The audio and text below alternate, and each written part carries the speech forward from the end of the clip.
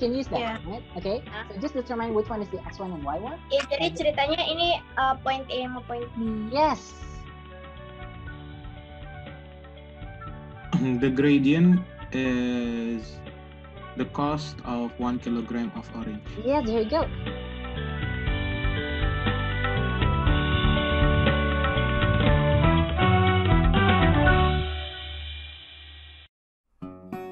Okay, uh, good morning, everyone. Uh, let's start our uh, day with prayer. Friends, before we start today's activity, let's pray together and pray begin. Amen.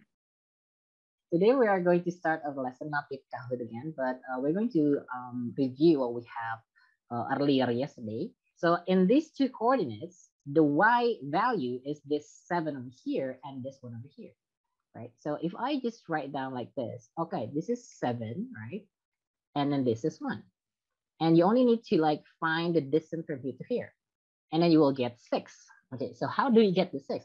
It's just like subtracting the 7 and 1. 7 minus 1 is equal to 6. So that's why the formula that we have yesterday was this one, right? y2 minus y1, because this is like y2 and this is y1. It's just like subtracting those two numbers, you'll get the distance or the rise.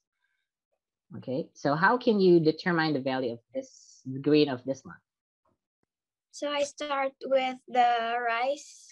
Mhm. This one, yeah. Then I just need to subtract uh, minus. Wait, wait. Two minus minus one. Uh, 2 minus minus 1. Oh, you, you will start from here, okay? Okay, 2 Yeah. minus minus 1, and then, X2-nya yang satu. yeah, of course, because you start from here. 1, One minus five. 5, so equals 2. 2 minus minus 1. Three over minus four. Okay, there we go. I can just it down like this, right? And the learning objective for today's lesson is a lot of things here. The first, uh, the first one is using GeoGebra.org. This is an a- online application to make graphs like a calculator and a lot of things we can do in here, like making 3D object. We can also do it here. And then uh, for this uh, uh, activity, you are going to use this to draw a graph of straight line. Okay, now I would like you to observe. An orange is orange are sold for $1.5 per kilogram. Okay, here the table shows the weight versus the cost for the orange. Here you go, this is the orange. And here we go, we have a table here. If I represent this in a graph, so the question is, how much do you think it costs to buy four and a half kilogram of oranges? Okay, anyone can give me an idea on how to determine the value or the cost? Anyone? Hmm, how do you Uh, think? Just just an idea. Doesn't have to be. Maybe like because it's it is four point five kilograms, just like half make fifty percent of the first kilogram, which is one point five, into Mm-hmm. um the third four of the price and just add it to six. Uh-huh. Yeah, yeah, okay. Yeah, Yeah. yeah. yeah. Actually have an idea, right? So the price is between those two numbers, right? Between the six dollar and seven point five. But maybe you don't know exactly, but you can figure out some some way on how to find the, the price of four and a half, right? Okay, so actually we can use the graph, okay, to find the price of that 4.5 kilogram, right? We're going to do that later. Okay, so this is just an observation. We have costs versus the number of books, right? We have two variables, right? The cost to print and the number of books. The question is, which one is the independent and which one is the dependent? The independent um, is the independent effect the dependent one. Yes, yes. The independent comes first. So which one? The cost, the cost, The cost is the independent. independent. Uh, So the cost affect the number of books or the number of the, the number of books affect the cost. Yeah, so which one is the independent? The number of book is the yes, there we independent. go. The Okay. cost is independent. What do you think is the price of 70 uh, to print 70 books based on the graph? 160. 160. Okay, good, right? So you know where to connect. Okay, good, very good. And then another question How much do you think it costs to print one book? Uh, 22 maybe? Yeah, maybe 22, right? Just to take a wild guess. Okay, so 22. But this is just a wild guess. But what you really we really need is to find exactly how much it is. We're going to use GeoGebra.org to make straight line graph of equation. The first thing you do is to open the show the axis show the grid. The next one is click the line button and then pick the two points that you have from the question, right? And then you can see that this is going to be easy for you to determine the gradient, right? Because because you can see the grid, right? So what's the gradient here? One. Yeah, so we're one, right? It's just two. Okay, thank you. Coba deh share screen caranya. Ngerti lo nggak bisa. Ini gue caranya persis kayak Paramal. Ini kan kalau misalnya mau delete ada di warnya. Iya. Y, Y min satu, eh Y min dua, eh dua min ya. Ah, delapan dikurang. Udah gua share. Oh, iya, kurang tiga. Bentar. Delapan kurang lima tiga. It's loading. Berarti kan tiga. Tiga per dua minus satu. Satu. Kurangan tiga. Tiga nggak sih? Yeah, yeah, it's three, right? Okay. Iya. Yeah, yeah, it's three. Okay, you're almost done. Gue coba ajarin. Dua. Dua koma min satu. Dua koma. Dua koma minus satu benar. Terus Hmm. tiga koma satu. It's uh, 2x minus 5. Oh. 2x min 5. Can you simplify two over four? Yes. Ah, it, the y is the same with the last number in line equation. Yeah. I think Bilkis have uh, found something good. Interesting. What do you think, Bilkis? What is the connection?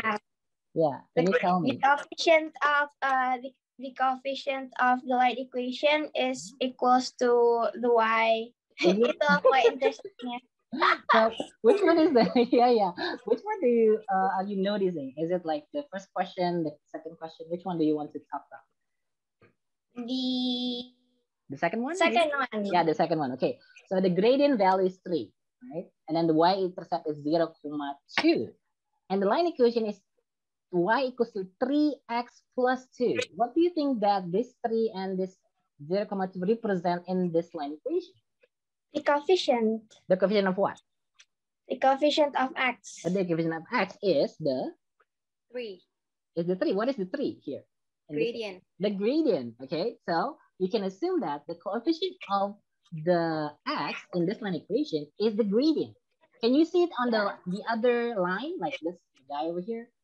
All right. Does it connect this two? Is it? Yeah, it's the same. yeah, it's the same, right? So how about the y It's the constant in It's the the line. constant. Okay, very good. Okay. Okay, um, so we found out that the pattern that uh, the gradient and the y-intercept equals the line equation. For example, um, the gradient is equals to 2 and the y-intercept is 0, comma 1, which uh, the equals to 2 is the 2x from the line equation Mhm. and it plus with the y-intercept, which is 1. So the conclusion for that, given a straight line has a gradient of f, and then we have a coordinates of y-intercept uh, as a graph as c, and then we can write this form of a line as equation as this. Uh, the price of one kilogram of oranges costs $1.5. And the question is, so how much do you think it costs to buy four and a half kilogram of oranges? Uh, for this equation, for, for this line, what is the gradient of this line? The point uh, 4, comma 6 And then and 8, comma 12. It's 3 over 2. It's 1, comma 5. 1 comma 1.5 yeah? what is the y-intercept Is it the zero point? yeah this one this guy right what do you think is the line equation we know Ah. that the value of m is this one and y-intercept is this one. So it's going to be 1.5x plus 0. okay so the cost is going to be equals to 1.5 multiplied by the weight right? We can write it down as this. So that's why we need this line equation. So let's go back to the question. Okay how can we use this this y equals to 1.5x to find the total cost? Uh, what does it cost to buy one kilogram of oranges One point five dollar. 1.5 uh, how much does it cost for two kilograms Three. three. What do you get the three? Yeah.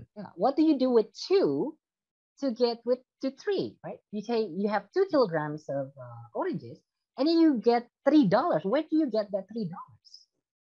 1.5 times 2. What do you think the price to buy four and a half kilogram of oranges? So it's 1.5 times 4.5 because we replace the x with four and a half. Yes, there you go. You only need to replace that or substituting the value of the x with 4.5. So do you get the idea here, guys? How do I find the price of orange, the price of the total price of the oranges based on the weight? Because in here we are connecting between the independent variables with the dependent variables based on what? On this guy over here. This y equals to 1.5x. That is going to be the line equation. Where do we get this line equation? From determining the gradient and the y-intercept, right? So all of them are connected. Uh, previously, uh, because I have said that the gradient is 1.5, right, for this line, what do you think is the connection is between this 1.5 with the table? Can you see any number in the table that is very connected with the value of the gradient? Um, the 1.5 is similar to the cost of one one kilogram of oranges. Specifically, what is 1.5 One. in the table? One Yeah. kilogram of orange. Yes, okay, can you rephrase that for me? Thank you. the gradient is the cost of one kilogram of orange. Yes, there you go. So the price of each kilogram represented by the value of the gradient, right? We can say that, right? So when we go to the next case in here, guys, how do you think we can find the price of one book? What should we find? Gradient. Yeah, the gradient. Thank you, Zidan, right? Write the line equation based on the gradient. Oh, yang tadi ya. Iya. All of them yang tadi, 1.5. all of them. Is it right? Yeah, I think so. Yeah. Apa, Pak Ramlan? Yap. Eh, kalau misalnya konstantnya ada nomor, berarti cara ngerjainnya 1,5 kali X plus nomor itu. Yeah, that is the constant, right? Because actually zero is a number, but you don't have to write it down in the first case, right? The orange case. You don't have to because it's just zero. Ah. Actually, you can just write, write it down as zero, but you don't really need to do that, right? Because yeah, anything plus zero is just that number. So you know how you 6.75. yeah, 6.75. And don't forget to write down the unit. You can use that, Yeah. right? Okay. Huh? So just determine which one is the x1 and y1. Eh, jadi ceritanya ini eh, point A sama point B. Yes. Okay, very good. Okay. Oh. Okay, I would like you to continue to find the gradient. Pay attention to the graph. What do you think if there's no book printed? Is there still any some cost to be paid? No, kan kalau no atasnya dua. Oh iya. Yeah, but Yes, twenty dollars. yeah. Wait, Oh. what? What do you Oh, think? Ih, kurang banget. No. What do you think? Because, Yes. no, because, No, yes. Based on the graph. because, ah, masa based on the graph? Based on the graph. Okay, based on the graph. If you don't if you don't print anything, you still have to pay twenty dollars, right? Yeah. Why do you think there's that twenty dollars? Oh, service. Yeah, there you go. The conclusion, the cost to print a book is represented again by the green line. And, and the cost to print 40 book can be found by substituting 40 to the x, or you can just like see it in the graph. The same thing with 70, and the graph has a linear equation because it's like a straight line, and the value of uh, the cost of one uh, to print one book doesn't change for any book you want to print. Okay, and the y-intercept represents the initial cost for printing a book, and then you have already got a like uh, the opinion, right? Is for the service, is for the rent of the machine, right? Maybe for the down payment and so on. So. So there you go, guys. As for today's lesson, and thank you very much. And then for the next session later on, uh, we're going to have um, uh, still on the straight line equation. Thank you very much for today. Arigato gozaimashita. Uh, you can leave the classroom and sayonara. Bye. Thank you, guys. Thank you, Pak. Thank you.